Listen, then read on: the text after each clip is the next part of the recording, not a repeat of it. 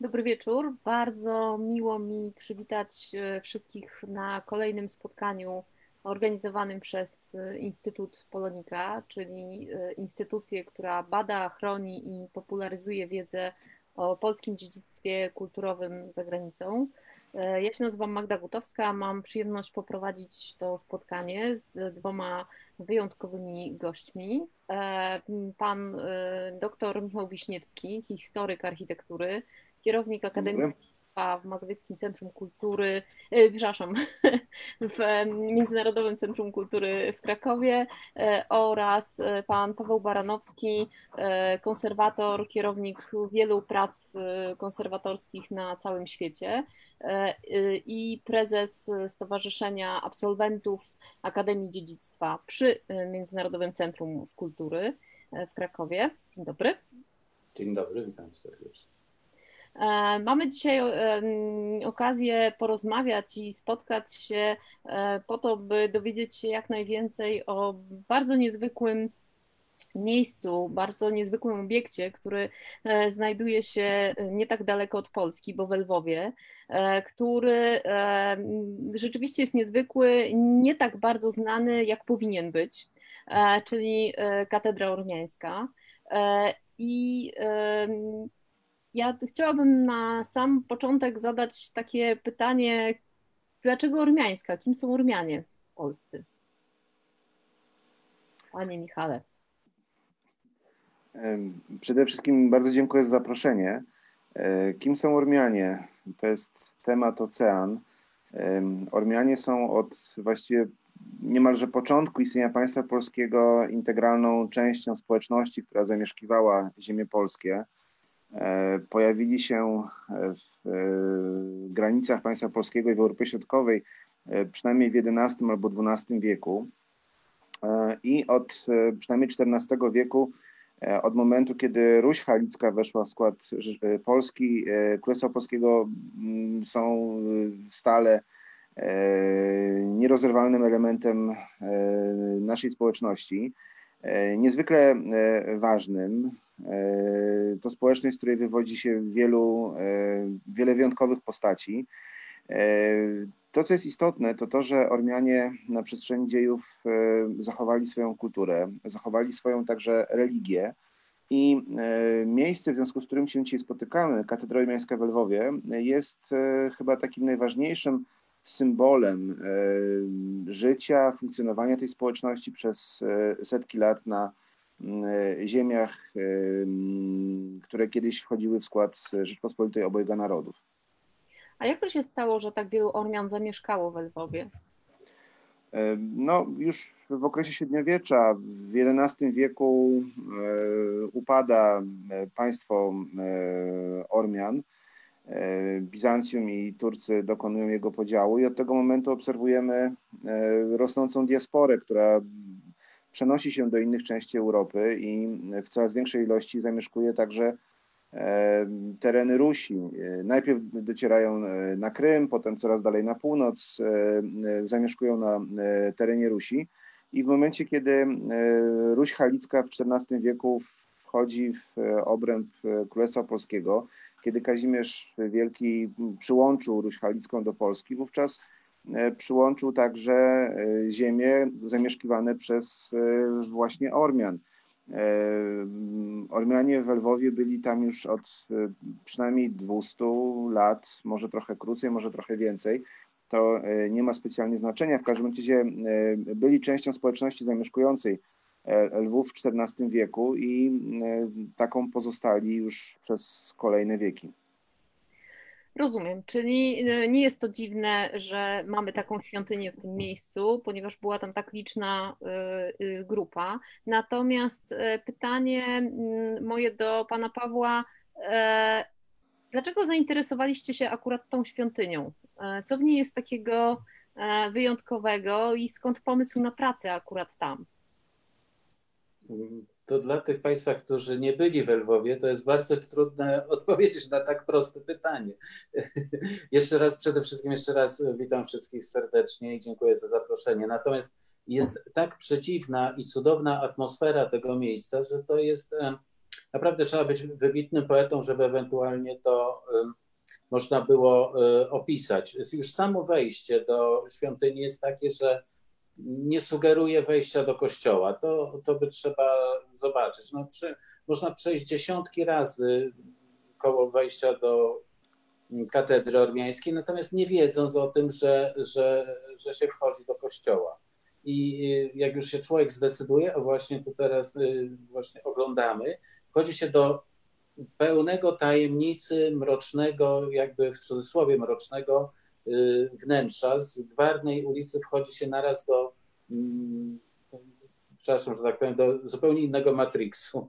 E, I nie, spo, nie sposób przejść obojętnie, jak już się tam raz wejdzie, e, raz się człowiek zapozna z tym, e, jak wyglądają ściany zdobione polichromiami, jak wygląda przebogaty sufit, czy też mozaika w części presbiterialnej. Czyli zostaliście zaczarowani. Tak to, tak to, tak to nazwiemy, tak, tak, tak jak większość osób tam odwiedzających to miejsce. Prawda, to, to prawda, rzeczywiście tak jest. Każde, każdego, komu o tym miejscu opowiadamy, mówimy, że e, trzeba tam po prostu przyjść, dotknąć i poczuć, żeby zrozumieć.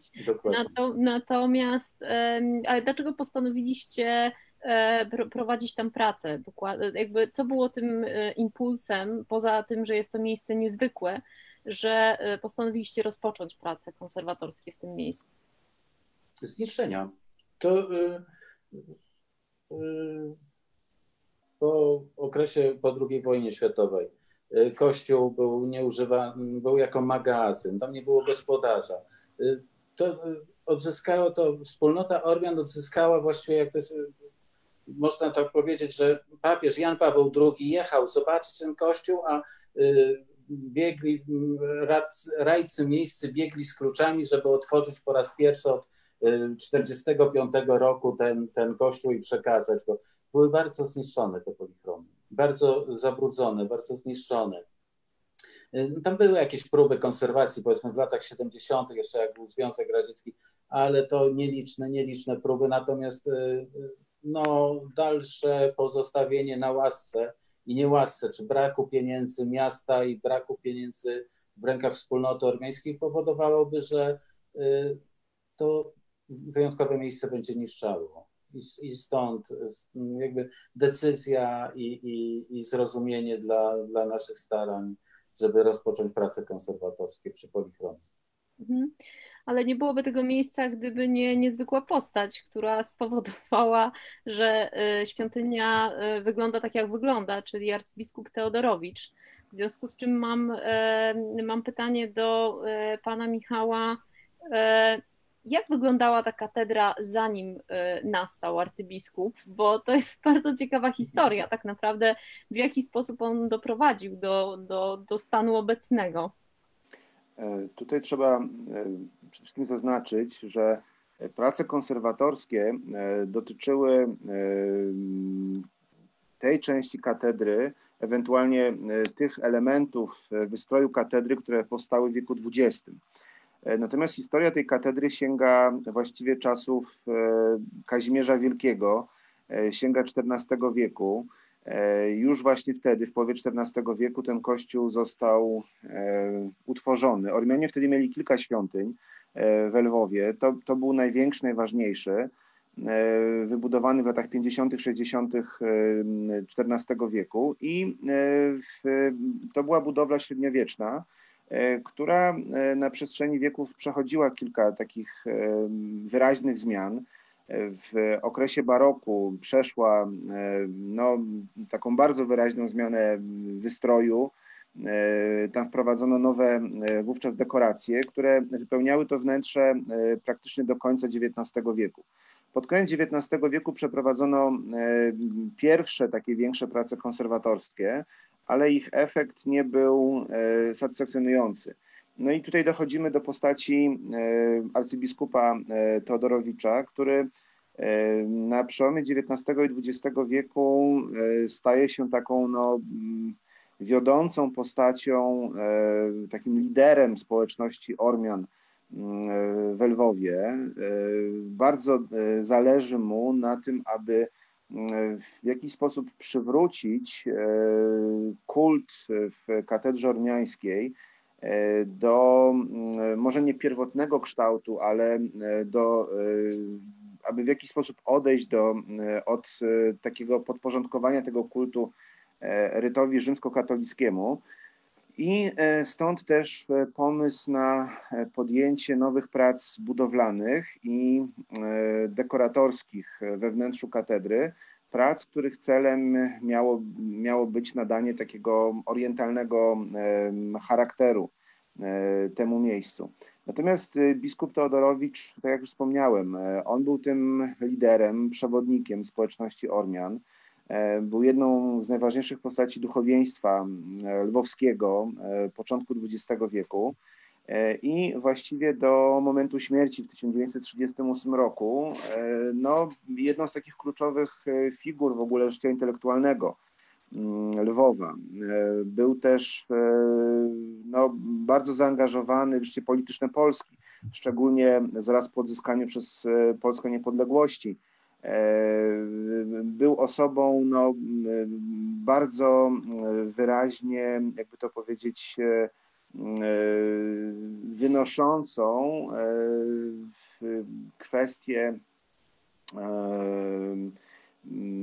kultury w mieście, rozwoju miasta e, na taki poziom ogólnokrajowy, e, dbającą o to, aby Lwów i właśnie ta społeczność e, Ormian Lwowskich funkcjonowała w dużo szerszym obiegu, żeby jej taki charakter nie uległ zatarciu i stąd właśnie zaangażowanie w pracę przy katedrze lwowskiej.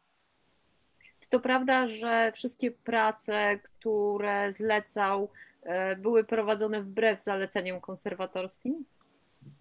E, tutaj trzeba e, zaznaczyć, że pod koniec XIX wieku w, Austro, w Austro-Węgrzech, w Austro-Węgrzech mamy do czynienia z rozwojem administracji konserwatorskiej.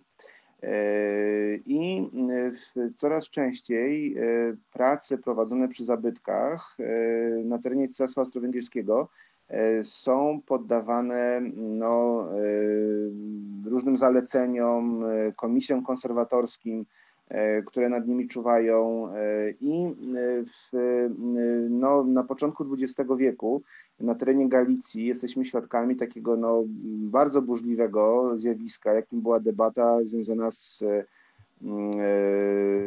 pracami konserwatorskimi na Zamku Królewskim na Wawelu, gdzie główny konserwator Max Dworzak sprzeciwił się pomysłom krakowskich konserwatorów E, tutaj w Lwowie również e, wydano negatywną opinię dla prac konserwatorskich, ale e, lokalne środowisko z kolei patrzyło na nie bardzo przychylnie i wspierało biskupa Teodorowicza w jego, w jego planach.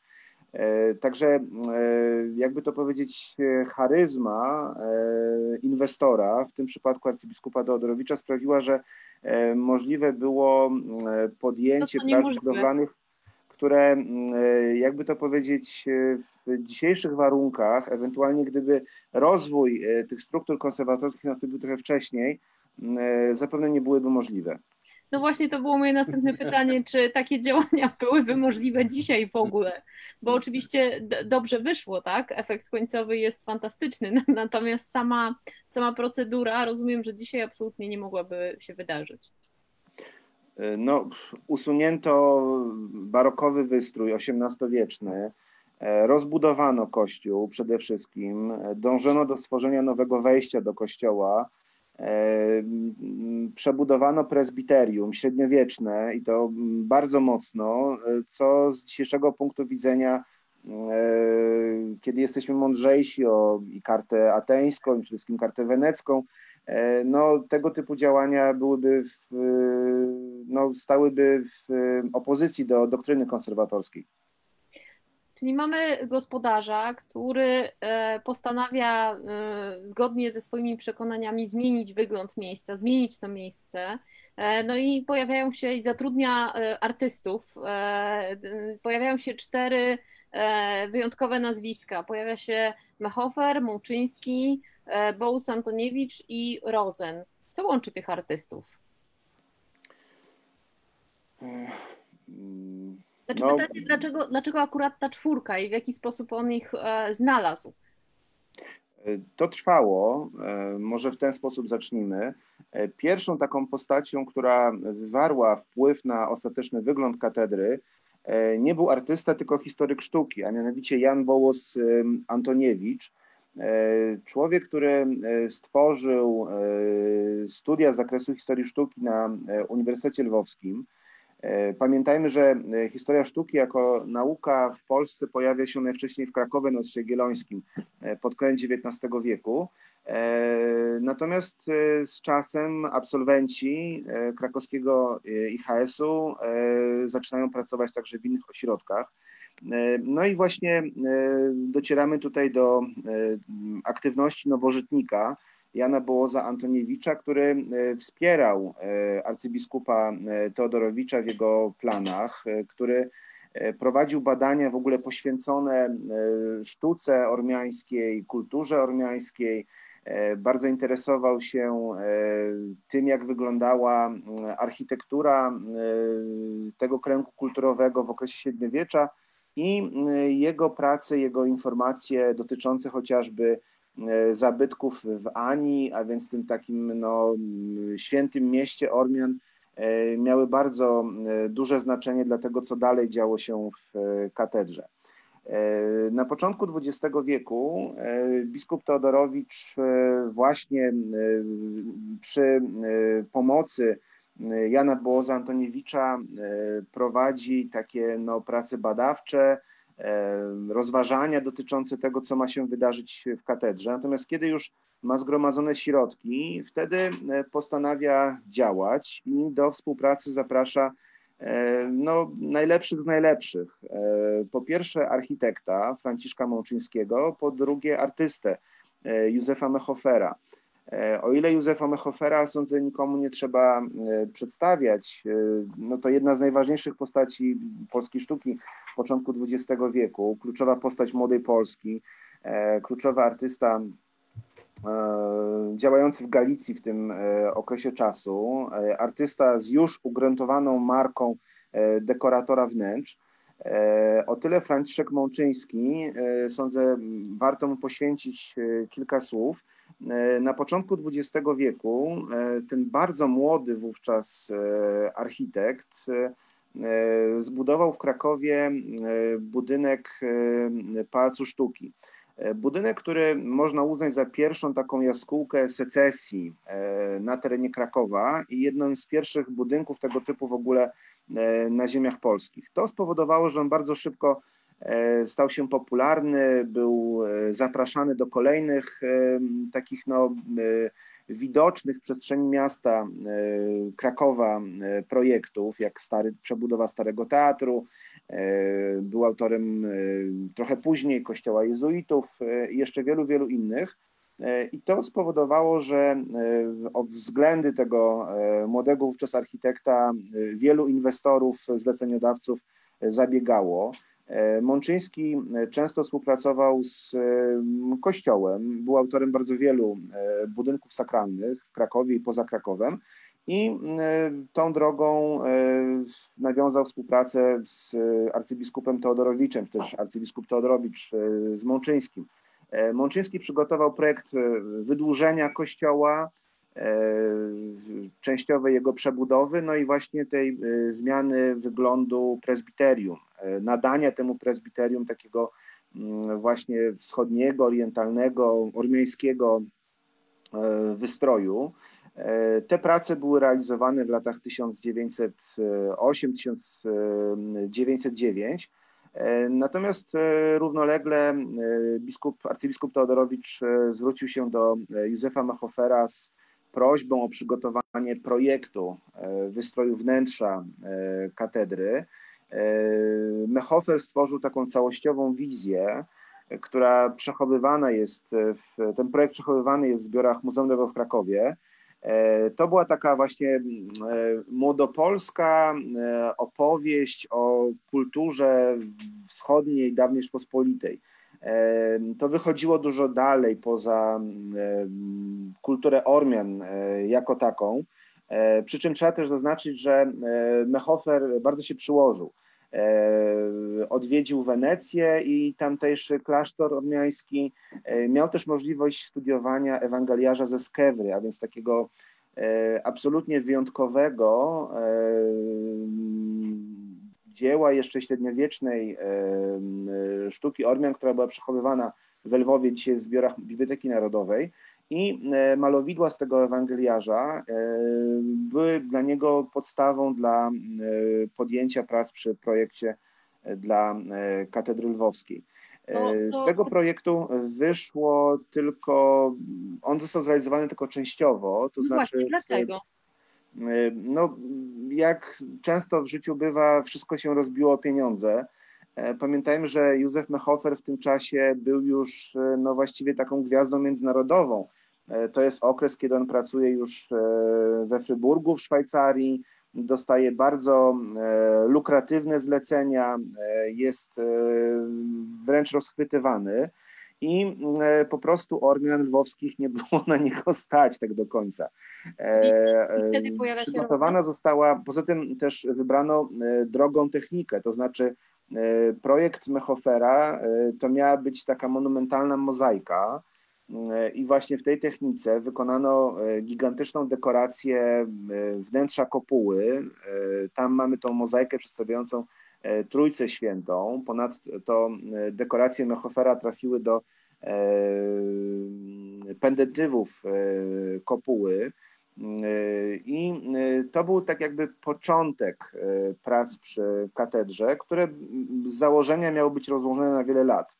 E, też e, może warto zaznaczyć, że w środowisku e, organ lwowskich nie wszystkim te projekty Mechofera się podobały.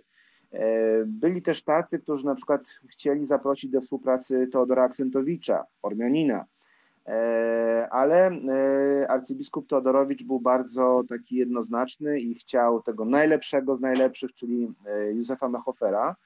E, w realizacji całości projektu przeszkodziła e, I wojna światowa. E, wybuch wojny sprawił, że prace zostały odłożone na wiele lat, a po I wojnie światowej no, wszystko się zmieniło. Rzeczywistość była już zupełnie inna i biskup Teodorowicz też postanowił inaczej podejść do dalszych losów katedry. E, u progu lat dwudziestych. Przepraszam, muszę tutaj zapytać. E, w, e, w, takim razie wtedy pojawia się Rozen, Jan Henryk Rozen? No właśnie do tego zmierzam. U progu lat dwudziestych Teodorowicz w związku z tym, że wtedy był bardzo zaangażowany w życie polityczne Polski, w pierwszy Sejm, często bywał w Warszawie. I e, właśnie w, e, u progu lat dwudziestych miał okazję zobaczyć w warszawskiej Zachęcie wystawę e, młodego artysty Jana Henryka Rozena, mm, syna polskiego malarza, batalisty Jana Rozena, który po okresie spędzonym na frontach I wojny światowej oraz po kilku latach pracy w dyplomacji, II Rzeczpospolitej, postanowił e, porzucić dotychczasową karierę i zająć się e, malarstwem. Malarstwem o takim bardzo wyraźnym e, rysie religijnym. To była osoba głęboko wierząca, ale też, co warto zaznaczyć, świetnie wykształcona. I jego twórczość od samego początku szła w kierunku opowiadania o świętych, o Piśmie Świętym, i to, w jaki sposób przekonało oraz y, też klasa y, prac, tych wczesnych prac e, Rozena, e, to przekonało e, Todorowicza do tego, żeby zaprosić wówczas niespełna 30-letniego artystę do prowadzenia prac w lwowskiej katedrze. Rozen do Lwowa trafia w połowie lat 20. i od 25 roku przez blisko 4 lata przygotowuje pracę. To są malowidła ścienne, które wypełniły nawę główną katedry ormiańskiej. W prezbiterium już częściowo były wykonane mozaiki Mechofera, natomiast apsyda na przykład i w ogóle pozostałe fragmenty prezbiterium oraz nawa główna czekały dopiero na przeprowadzenie zmian wystroju. I no właśnie w latach dwudziestych te prace realizuje Jan Henryk Rosen. No właśnie, ja tutaj mam, będę chciała dopytać jeszcze o to, jakie postacie Jan Henryk Rosen uwiecznił e, i, i zachował ich rysy e, w wnętrzu katedry, ale chciałabym spytać pana Pawła wcześniej jeszcze, czy e, jak rozpoczynaliście pracę, lata 1912-1913, to jest ten moment, e, kiedy prace przy kopule się kończą. Pytanie moje, czy rzeczywiście jest tak, że dopiero kiedy wy się pojawiliście, to, e, to dotknęliście rzeczy, które, które wcześniej powstały, czyli że wcześniej nikt, nikt nie ścierał tego kurzu i się tam nie pojawił. Mówimy o mozaice w tym Tak, tak, tak. Tak, rzeczywiście. Rzeczywiście. Od e... momentu powstania aż do, naszego, do naszych prac w roku ubiegłym. Jak się do e, tego przygotowywaliście? E, samo przygotowanie. Samo przygotowanie to jest zespół polskich i ukraińskich konserwatorów w Polsce. My studiujemy po 6 lat, to też jest forma przygotowania.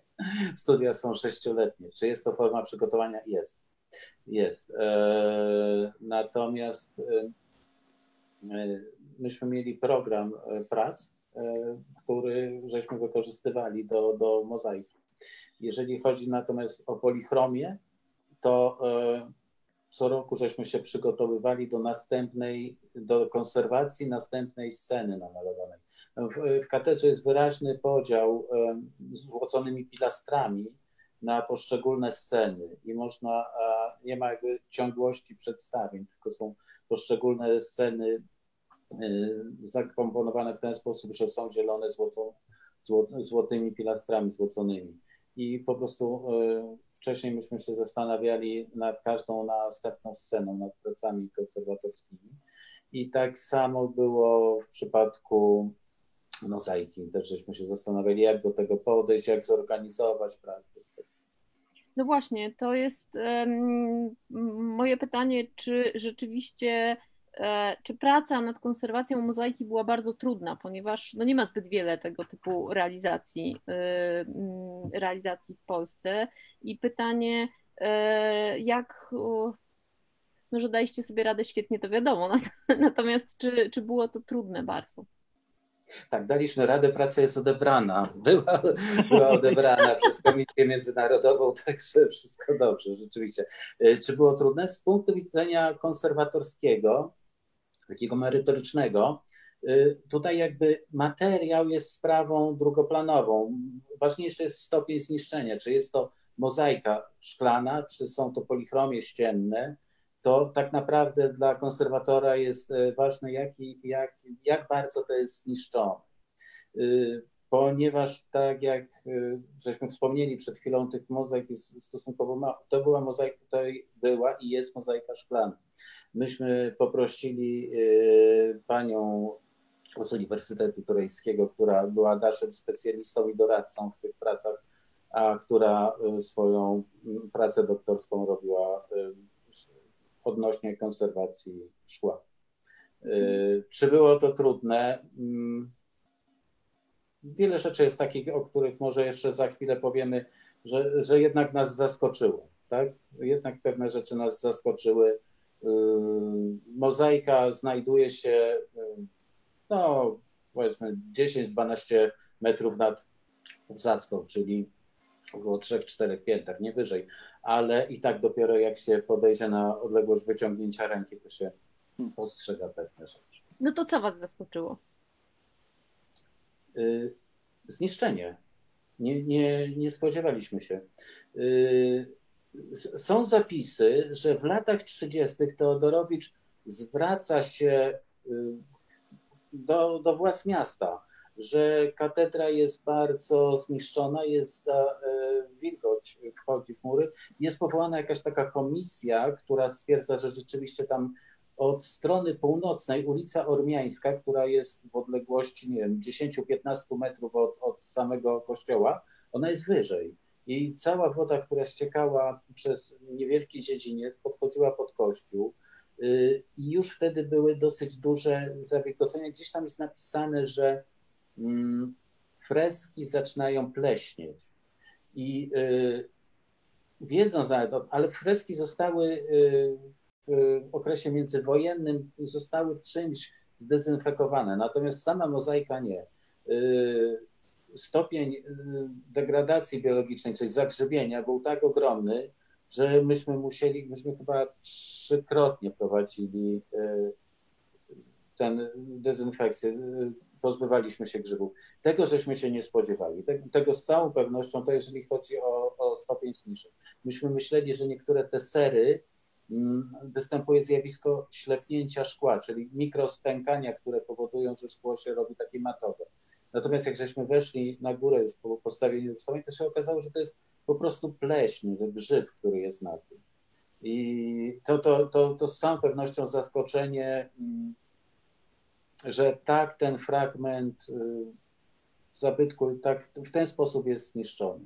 I, ale jeszcze było drugie zaskoczenie, że mm, autorzy nie do końca sobie potrafili poradzić y, z pewnego rodzaju obłościami i krzywiznami ścian.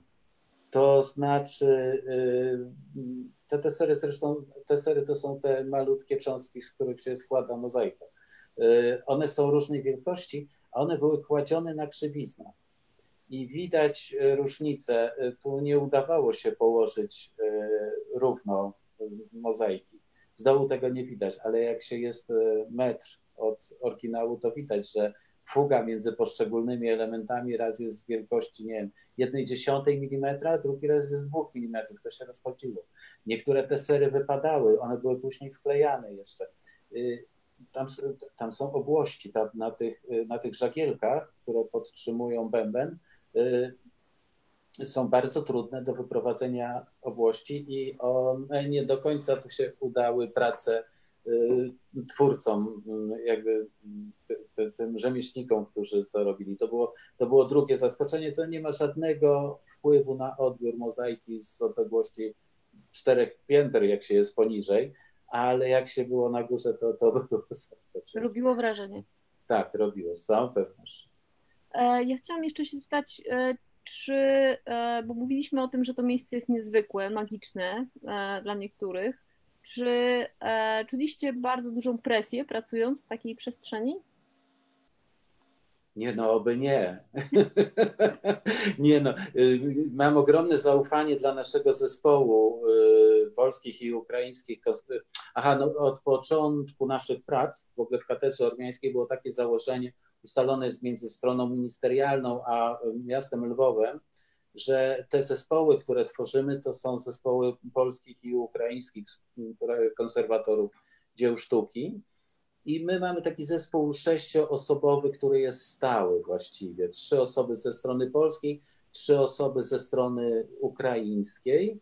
Y, wszyscy ci konserwatorzy ukraińscy, którzy z nami współpracują, są, są y, po Gaude Polonia, po stypendiach Gaude Polonia, mówiąc się doskonale po polsku i znający nasze sposoby podejścia w ogóle do problematyki konserwatorskiej.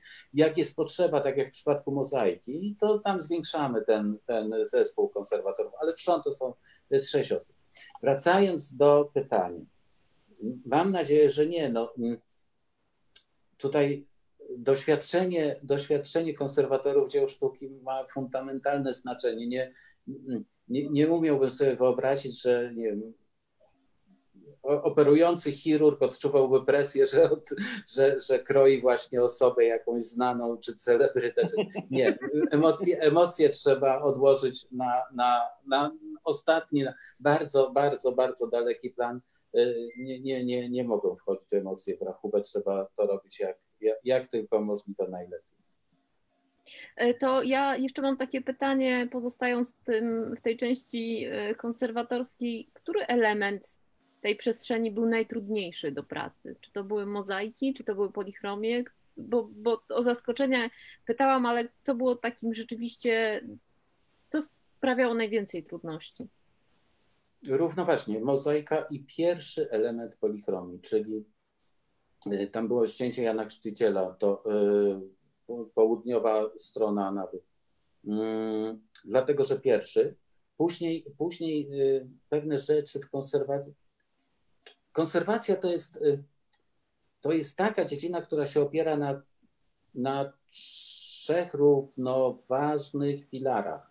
To jest y, jakiś tam artyzm, sztuka, nauka i rzemiosło. To są równoważne, pewne rzeczy są powtarzalne. Już jak pierwszy, pierwszą pierwszą polichromię żeśmy przeszli, najtrudniejszą, najbardziej zniszczoną. Już wiedzieliśmy, czego się spodziewać mniej więcej. Oczywiście są zaskoczenia, ale mniej więcej można sobie, mając doświadczenie, można sobie wyobrazić. Y, to także pierwsza, pierwsza nasza realizacja była najtrudniejsza lub najciekawsza, to zależy jak. I mozaika, no muszę powiedzieć, że też była zaskoczeniem. Te, też była zaskoczeniem z uwagi na mm, może nie na ogrom zniszczeń, bo nie było to ogrom, nie, nie było ogromny, tylko sposób zniszczeń, tak jak wspomniałem. Mhm. Ja mam, chciałam wrócić jeszcze do, mm, do tego pytania o to, kogo e, Jan Henryk Rosen uwiecznił i e, kogo udało się tak pięknie zakonserwować. E, I, bo jest tam dużo nazwisk osób, które ówcześnie żyły w Lwowie, które zostały zaproszone do tego, żeby pozować dobrane specjalnie pod kątem swoich atrybutów? Jak to wyglądało? Tak, te malowidła są takim specyficznym zapisem życia towarzyskiego elit miasta Lwowa lat 20. i 30., 20. właściwie. Przy czym tutaj może zaznaczę, że Rozen w Lwowie spędził kilkanaście lat. On wyjechał stamtąd pod lat 30. do Stanów Zjednoczonych, już nigdy e, nie wrócił. E, natomiast w latach 20. E, pracuje na Politechnice, uczy malarstwa, uczy rysunku. No i właśnie pracuje w katedrze. Pracuje także w kilku, przy kilku innych podobnych zleceniach, aczkolwiek może nie tak dużych i tak prestiżowych. E, tutaj w katedrze e, ma możliwość e, uwiecznić tak jakby śmietanka życia towarzyskiego tego, tego czasu, tego okresu. To na przykład widać bardzo dobrze w scenie ukrzyżowania, gdzie widzimy na przykład arcybiskupa Szeptyckiego, a więc głowę kościoła grecko-katolickiego, który tam jest przedstawiony jako święty Benedykt. E, mamy e, dwukrotnie pokazanego e, biskupa Teodorowicza, który tutaj się pojawia na przykład jako święty Tomasz Zakwinu. Też taką ciekawostką jest święty Franciszek, pod postacią którego Rozen uwiecznił Jacka Malczewskiego, E, Jacek Malczewski był związany z Lwowem i e, trafił tutaj do e, właśnie tego konkretnego malowidła. Z takich mniej może znanych postaci chciałbym wymienić Marię z Dzieduszyckich Wolańską, która tutaj występuje jako Maria, stojąca właśnie pod krzyżem. Jej krewny, Włodzimierz Dzieduszycki, z kolei e, prawdopodobnie e, był modelem e, podczas malowania samego Chrystusa na krzyżu. Tak więc mamy przedstawicieli arystokracji, która ma wciąż ogromny wpływ na życie kulturalne i społeczne Lwowa. Włodzimierz Dziedoszewski, który właśnie tutaj występuje w roli ukrzyżowanego, był e, prezesem klubu sportowego e, Pogoń Lwów. To może jako taką ciekawostkę warto dodać, ale mamy też właśnie przedstawicieli duchowieństwa. Pojawia się Tadeusz Zieliński, bardzo znany badacz antyku, filolog, jako święty Piotr trzyma kamień i model Bazyliki Świętego Piotra w Rzymie. Tych odniesień jest dużo więcej. E, mamy też przegląd e, duchowieństwa i kleru, e, szczególnie ormiańskiego, który związany był wtedy z katedrą. Pojawia się Dionizy Kajetanowicz, który był taką prawą ręką arcybiskupa Teodorowicza. Pojawia się wielu, wielu innych, dzisiaj mało znanych, może nie zapomnianych, ale osób, które po prostu stanowiły część tej społeczności, E, które były elementem tego życia ormiańskiego w e, okresie międzywojennym w Lwowie. Ja w związku z tym chciałam się jeszcze y, dopytać o wystawę, która powstała jakiś czas temu, e, jeździła po, jeździ cały czas po Polsce, Katedra Ormiańska w Lwowie i jej twórcy. I tu od razu mam pytanie, czy trudno opowiada się o pracach konserwatorskich? E, w tej w, w, w przestrzeni tej wystawy. I skąd pomysł? To ja może e, opowiem. E, prace konserwatorskie były prowadzone przez Stowarzyszenie Absolwentów Akademii Dziedzictwa.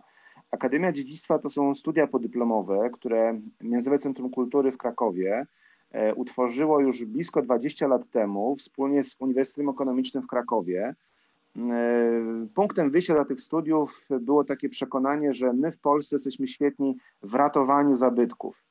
Szczególnie jak coś jest ruiną, to my potrafimy to odbudować, e, to nam zawsze świetnie wychodzi.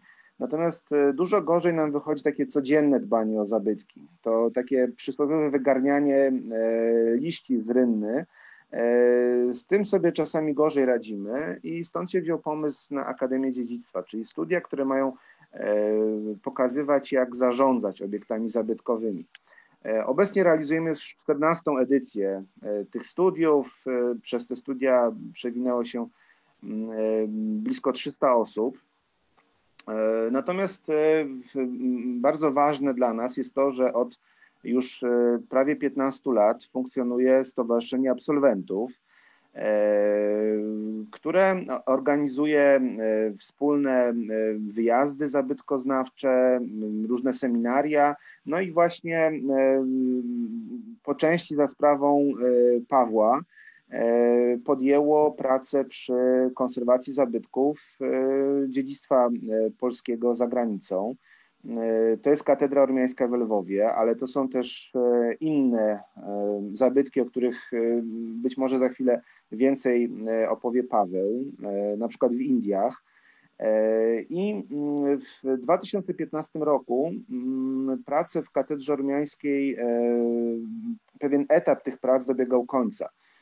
Kończyły się prace przy malowidłach w nawie głównej i to był pretekst do tego, żeby zorganizować wystawę pokazującą właśnie to, co udało się osiągnąć ale też e, w ogóle przybliżającą historię katedry ormiańskiej. E, zaprosiliśmy do współpracy panią doktor Joannę Wolańską, autorkę najważniejszej monografii poświęconej katedrze, e, chyba mm, najlepszą znawczynię twórczości Rozena. Dysponowaliśmy materiałem z prac konserwatorskich prowadzonych przez zespół Pawła Baranowskiego. Przygotowaliśmy zespół zdjęć pokazujących stan e, już po pracach konserwatorskich. I e, w ten sposób przygotowana została wystawa, która rzeczywiście no, od kilku lat e, podróżuje po Polsce. Była też pokazywana za granicą, na przykład w Erywaniu, w Galerii Narodowej. E, I e, rzeczywiście e, uważam, że to jest bardzo duże wyzwanie pokazać konserwację zabytków. Praca konserwatora zabytków czy konserwatorki zabytków jest moim zdaniem niedoceniana. Jej efektów tak naprawdę nie widać, bo na koniec mamy czysty budynek, świetnie wyglądający budynek, świetnie wyglądające dzieło sztuki, I cały, ta, cały ten mozolny proces analizy materiałów, analizy chemicznej, cała ta, całe to żmudne badanie dotyczące jak walczyć z grzybem, jak walczyć z pudrowaniem jakiegoś malowidła, tego, te, tego, tego nie widzimy. I e, też sądzę z tego powodu, e, e, praca konserwatorów zabytków jest niedoceniana. Ja, ja, ja takie przynajmniej odnoszę wrażenie. Nie jestem konserwatorem zabytków, ale tutaj w imieniu tego środowiska, czy też strony tego środowiska, chciałbym złożyć swoje gratulacje ze względu na to, jak, jakie, jakie świetne realizacje są Polsce i poza Polską przez polskich konserwatorów i konserwatorskich e, realizowane. E, I mm, zamysłem tej wystawy było mm, też właśnie takie e, edukacyjne podejście do tego, jak wiele zawdzięczamy konserwatorom, konserwatorkom zabytków, którzy mm, często gdzieś na rusztowaniu, często w niskich temperaturach, w kurzu e, walczą o to, żeby zachowywać e, cenne dzieła sztuki. Prawda. E, no to. Nie, no to mi wypada tylko podziękować. Naprawdę ogromnie, ogromnie, ogromnie miłe słowa. Ja sam jestem konserwatorem, a, a w tych pracach no to mój udział jest bardziej w organizowaniu prac, ale w imieniu E, no, ogromne podziękowanie za te ciepłe i miłe słowa. Super, bardzo fajnie. bardzo miło. Ja mam do Was takie pytanie e, jeszcze nie zawodowe, ale może trochę. A mianowicie, czy chciałam się dowiedzieć, czy praca w, przy katedrze, w katedrze zmieniła coś w Waszym życiu zawodowym? To zetknięcie się z tym, z tym niezwykłym obiektem. Bardzo trudne pytanie bardzo trudne, bardzo trudne. E, oprócz e, organizacji prac z ramienia Stowarzyszenia Absolwentów Akademii Dziedzictwa e, w Lwowie czy w innych miejscach, co Michał wspomniał, pracuję w jednym z muzeów warszawskich, e, ale nie jako konserwator, tylko w dziale inwestycji.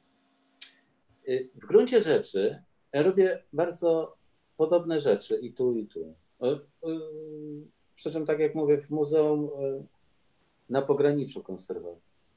E, czy to zmieniło coś w moim życiu? Z całą pewnością ubogaciło e, moją pracę tą codzienną, zawodową, etatową.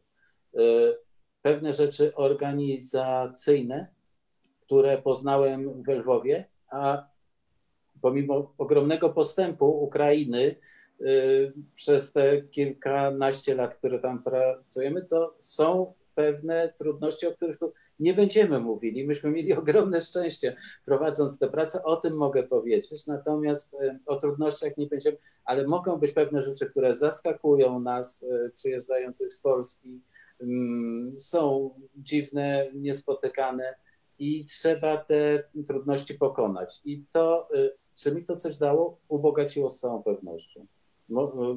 I w drugą stronę też. Moja praca muzealna też mi bardzo pomaga przy organizacji tych prac konserwatorskich właśnie y, w Lwowie. Także to jest taka wymiana emocji, wymiana myśli i doświadczeń jest y, dwustronna. Natomiast jeszcze na marginesie y, dodam, że powiedziałem, że, że dużo szczęścia żeśmy mieli, a nie mówimy o tych rzeczach nie, zupełnie nieistotnych, które trzeba pokonać, jest od początku jest świetna współpraca między y, stroną polską a wspólnotą Ormian zarządzając, zarządzając zabytkiem i Urzędem Miasta Lwowa, czyli jakby odpowiednikiem naszego konserwatora miejskiego. Nigdy przez te kilkanaście lat myśmy nie mieli jako organizatorzy prac żadnego problemu. Naprawdę wiem, że inne zespoły, no różnie bywa w innych państwach i tak dalej. Nam się jakoś zawsze to udawało i mamy tak, e, taką sytuację na przykład w Lwowie w katedrze, że my możemy tam pracować całą noc. Oczywiście my już jesteśmy parę lat, mają do nas zaufanie, ale są procesy konserwatorskie, których nie sposób przerwać albo przerwanie ich, bo na przykład po 4-5 godzinach czy 8 godzinach jest niewskazane organizacyjnie. Lepiej się przemęczyć i, i popracować te 15-16 godzin i mieć z głowy jakiś tam proces konserwatorski i później niech sobie coś tam schnie, czy coś takiego, to jest ogromna wygoda. Ogromna wygoda jest ta współpraca, świetna współpraca z Urzędem Konserwatorskim. Po naszej stronie polskiej, no to w ogóle nie ma co wspominać, jest też świetna współpraca, prawda? Yy, w organizacji prac, w organizacji przepływu pieniędzy i tak dalej. Tak Także dużo szczęścia też trzeba mieć. Dziękuję. A u Ciebie, Michale? No ja nie byłem zaangażowany w prace konserwatorskie w katedrze, ale zajmowałem się wystawą. E, ona była pokazana po raz pierwszy w Krakowie u nas, w Muzeum Centrum Kultury.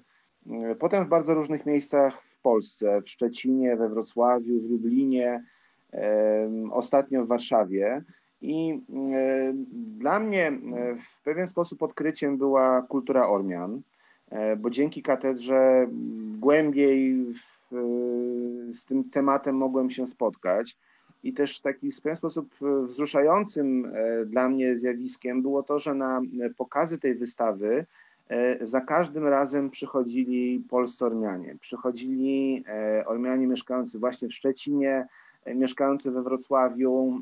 Z tego wynikały bardzo sympatyczne, miłe dyskusje. I dopiero wtedy zdałem sobie sprawę z tego, no, jak, e, jak bogata, jak ciekawa jest ta kultura e, i jak, jak wiele jej po prostu zawdzięczamy. Tu się muszę przyznać do być może mojej ignorancji, że wcześniej e, nie, nie, interesowałem się tym jakoś bardzo głęboko, natomiast wystawa no, zwróciła mi uwagę na niesłychanie ważny element, który stanowi szczególny element dziedzictwa kulturowego E, naszego kraju. Ja y, chciałam jeszcze y, zadać pytanie, które y, pojawiło się pod y, naszą rozmową, a mianowicie padło pytanie, y, jakie były dalsze losy barokowego wystroju katedry ormiańskiej, gdzie trafiły jego elementy po zmianie wyglądu wnętrza? Hmm. Wydaje mi się, że tutaj powinniśmy spuścić zasłonę milczenia. Okay. E, I e, pozostawić w fazie domysłów, co się stało z tymi barokowymi ołtarzami. E, zachowały się nieliczne elementy alabastrowego wystroju prezbiterium. One trafiły do kościoła w w Zarzeczu e, i pewnie takich pozostałości e, różnych fragmentów wystroju było więcej, które gdzieś zostały przeniesione. Natomiast no, e, w, powiem tak, wydaje mi się, że my wciąż czasami albo inaczej, że wciąż spotykamy się z takim problemem, że osoby mające wpływ na e, szczególnie obiekty sakralne e, nie do końca zdają sobie sprawę z tego, e, jak wartościowymi obiektami dysponują. Często też przytłacza ich, bo też nie chcę tutaj, nie wiem, oskarżać, ale często przytłaczające jest konieczność przechowywania dzieł sztuki, które są duże, zniszczone, E, przeżarte przez korniki, e, przez grzyby i e, z tego powodu wiele takich obiektów jest po prostu niszczonych. I no, przypuszczam, że w tym wilgotnym wnętrzu, bardzo klimatycznym, ale też i przesiąkniętym wilgocią wnętrzu katedry ormiańskiej, mm, historia wielu spośród tych XVIII-wiecznych elementów dekoracji była właśnie, właśnie taka. Wydaje mi się, że część trafiła do Rzeszowa, ale ja nie jestem e, pewna. To... E, no nie zachował się cały wystrój. E, to zachowały się pojedyncze elementy. Mhm. Ja bardzo Wam dziękuję za tą wycieczkę do, do Lwowa, zwłaszcza teraz, kiedy musimy zostać w domu. I cieszę się, że mogliśmy tam, tam razem się udać.